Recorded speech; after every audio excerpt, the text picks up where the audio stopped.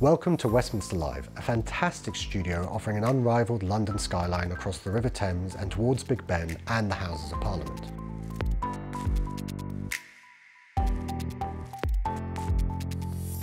Lighting to accommodate the natural light streaming through the windows has its challenges, and the reason why Westminster Live has adopted the L5C and L7C as their house fixture, which we are pleased to demonstrate for you today.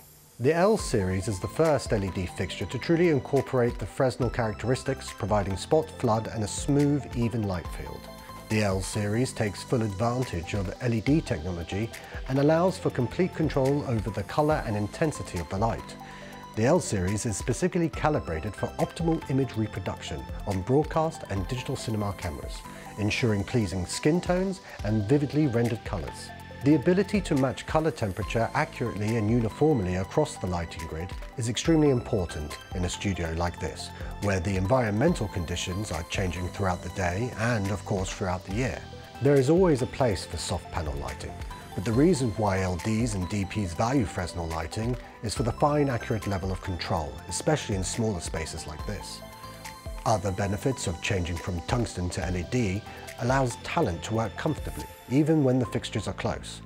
And from an environmental perspective, Westminster Live were able to save 8 kilowatts of power. In terms of reliability, ARRI fixtures are trusted by broadcasters around the world and have a proven track record on build quality and reliability, whilst continuing to lead the way in terms of innovation and technology.